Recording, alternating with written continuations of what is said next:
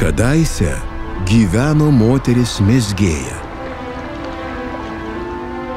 Vieną dieną, jai bemesgant žvėjams tinklus, ėmė ir pasirodė laumė.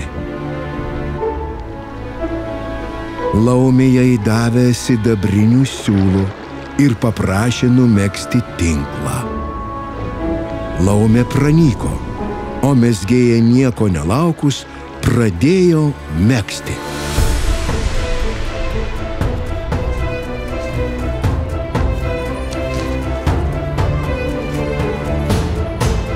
Mesgėja mesgė dieną naktį.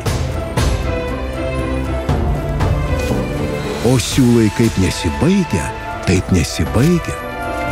Ji tiek tinklų primesgė, kad net nebeturėjo kur jų dėti.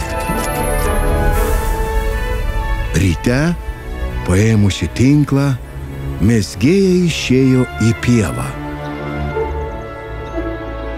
Ten ji ištiesė savo tinklą, o šis pavirto rūko skraiste. Kažkur rūko vidury jį pamatė laumę, davusią jai siūlų. Laumė nusišypsojo mesgėjai ir vėl pranyko.